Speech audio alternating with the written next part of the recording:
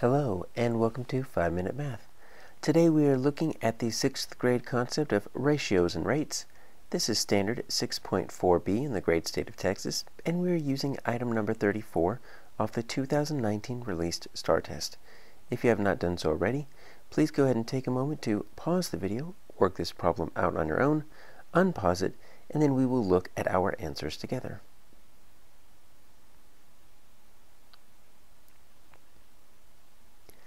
So we have a seemingly simple problem here. We see this number, we see, oh, 7 to 16, and unless we're really careful, it will be really easy for us to choose the incorrect answer. Let's take a little bit closer look at what we're looking at here. The question is asking about flour tortillas. And we have from the grocery clerk, they're putting flour tortillas and corn tortillas on the shelf. Seems simple enough. But take a look at this ratio. The ratio of the number of packages of corn tortillas. So I'm going to say corn tortillas to the total number. Now that is our trick. Look at how they snuck that in there. There is no number for flour. All they gave us was corn to total. Always put labels here. So corn to total is going to be 7 to 16.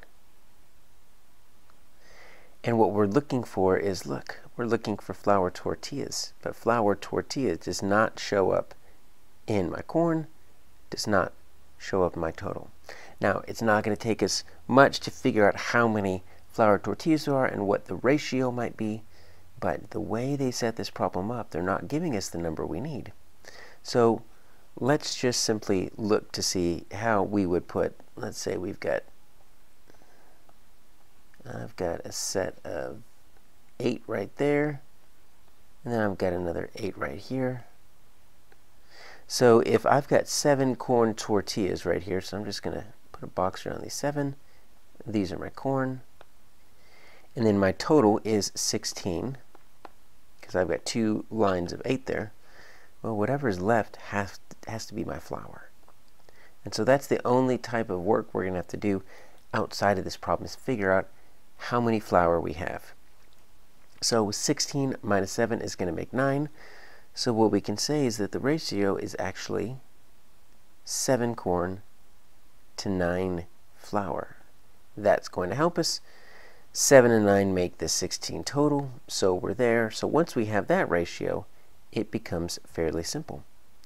Which number could be the number of flour tortillas? Well, let's just Let's just take these ratios, let's look at them like fractions, and just make some equivalent fractions, right? So if I were to double 7 and 9, that would be 14, and that would be 18. Now I see both 14 and 18. Let's make sure we label these. I've got my corn and my flour, and I've got my corn and my flour. So 18 could work. I see that as an option right there. Uh, 14 is a number there, but 14 is for the 7, not for the 9 flour. If I were to triple my 7 and 9, I see 21 and 27, corn and flour. I don't see that I'm really looking for these bottom numbers here. If I were to quadruple the 7 and 9, I'm going to get 28 and 36. And we're just getting too big. So obviously we should only have one answer.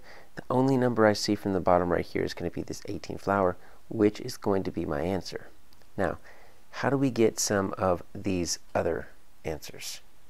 Well, look at 23. If I've got no idea what to do, I might just add. When in doubt, what do we do? We take all the numbers and add. And guess what that's going to get us? 23. It has nothing to do with anything that we're trying to learn, but you could get 23 by adding 7 to 16. Now, the tricky part is this 14 and this 32. If we were to take our original ratio here of 7 corn to 16 total, and we were to make an equivalent fraction by doubling the 7 and 16, guess what we would get? We would get 14, and we would get 32. We would get this one, and we would get this one, and we don't need either of them because neither of them is flour. We need the flour down here, so our answer is G.